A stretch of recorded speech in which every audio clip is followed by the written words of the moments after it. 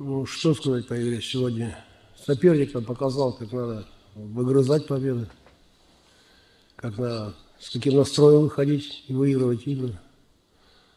По нашей команде скажу две вещи. Очень большие претензии к лидерам команды и вообще к общему настрою нашей команды. Я, естественно, за подготовку команды ответственность беру на себя – но спрос будет с людей, кто находился на площадке. Проиграли практически все единоборства, самоотверженность отсутствует, э, концентрация то же самое. Э, ну и Влада добилась того, чего хотела, с чем я ее поздравляю. Спасибо. Вопросы? Нет вопросов? Спасибо. Спасибо вам всем.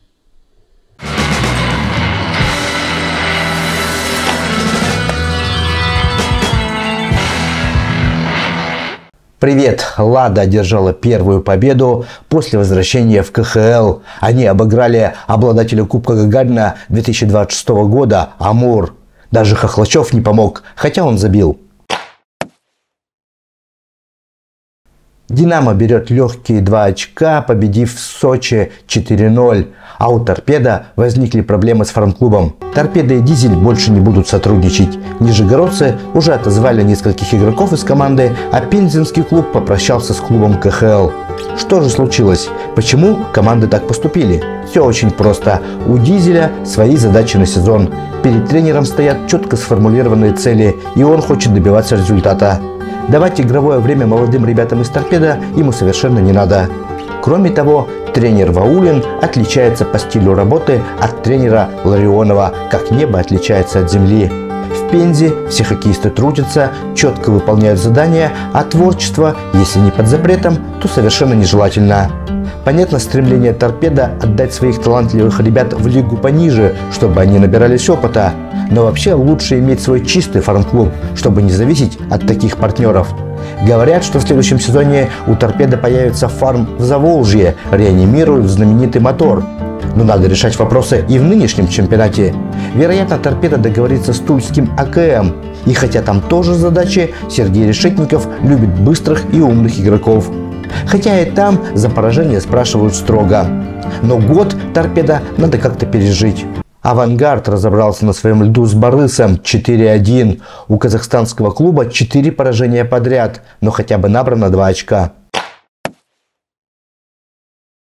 Вратарь Металлурга Илья Набоков впервые вышел в стартовом составе в КХЛ и помог своей команде обыграть «Витязь» 4-3. А в Новосибирске совсем беда. Переезд на новую арену в Новосибирске пока не приносит счастья. В конце встречи против автомобилиста зрители стали покидать трибуны, выражая протест против действий команды. Хозяева проиграли 1-6, причем все было по делу. Когда убирали Мартемьянова и приглашали Немировски, то говорили о том, что новосибирский клуб поменяет стиль игры, станет более веселым и атакующим. Пока за 4 матча нечто подобное было лишь один раз в Астане против Барыса, у которого не все гладко составом. Все остальное время у Сибири грусть, упор на оборону и ноль импровизации и веселого хоккея. Матч с автомобилистом показал, что у тренера есть проблемы с философией, но вы не забывайте, что Немировский не работал год, а до этого не попал в плей-офф торпеда, хотя состав там был посильней. Может быть, в Сибири не очень хорошо подумали насчет кандидата, но это как раз характеризует новосибирцев. Менеджмент там на низком уровне, так что болельщикам стоит приготовиться к хоккею, который был в субботу. Впрочем, есть надежда, что сильные легионеры оживут, да и Николай Прохоркин наберет форму. Вратарь Антон Худобин, подписавший контракт с Соколом из Красноярска, дал понять, что поедет в любую команду КХЛ. Пока ближе всего к нему вариант с Нижнекамском. И последнее, лидер ВХЛ Сканева потерпела первое поражение. Они уступили на своем льду Тульскому ОКМ 2-4. Но у форварда питерцев Дмитрия Бучельникова 1 плюс 6, и он лучший бомбардир чемпионата. И ему бы в Сочи. До свидания.